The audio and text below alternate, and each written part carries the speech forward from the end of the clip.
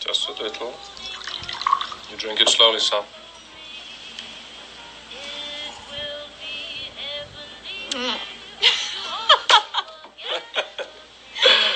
Peter, won't you join us, please? Have some wine. It's a curative. Keeping the body free of foreign elements, whatever they might be, is the central principle in our Führer's Weltanschauung. Drink makes us weak. Strength comes from purity.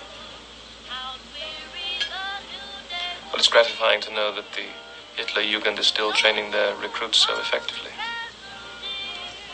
If only I was a little younger and had not acquired all these bad habits.